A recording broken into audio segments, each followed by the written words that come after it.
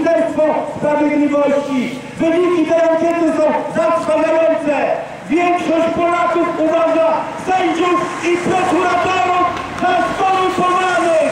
Jesteśmy tutaj, jesteśmy głośni, bo nam ukradziono dzieci. Żądamy też uwolnienia Bogdana Boczyńskiego, niezależnego dziennikarza, który opisywał na łamach, inter, na łamach afer prawa i niezależnych, na niezależnych portalach internetowych łamanie prawa przez polski wymiar sprawiedliwości. Bogdan Boczyński skargę konstytucyjną. Bogdan Boczyński udowodnił, że polskie sądy są niekonstytucyjne. Nie macie prawa odbierać nam naszych dzieci. Nie macie prawa niszczyć polskiej rodziny. Myśmy was nie wybierali. Nie macie naszej legitymizacji. Nie przyjechaliśmy tutaj kogokolwiek obrażać.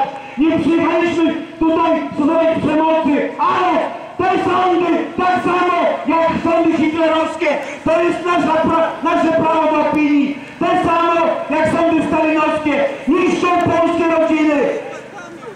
Ludzie, to nie pożar! W tym kraju nie było wojny! W tym kraju nie było kataklizmów! A w Polsce jest 100 tysięcy dzieci w domach dziecka!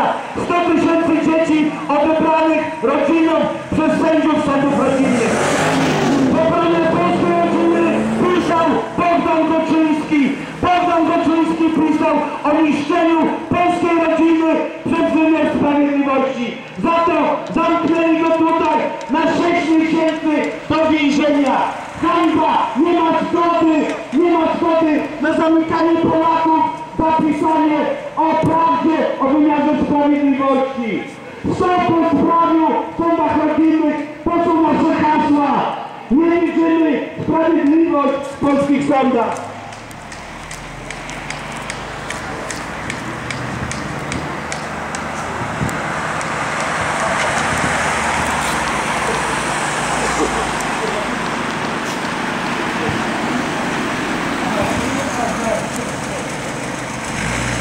Vamos chegando, Zé Zapatista.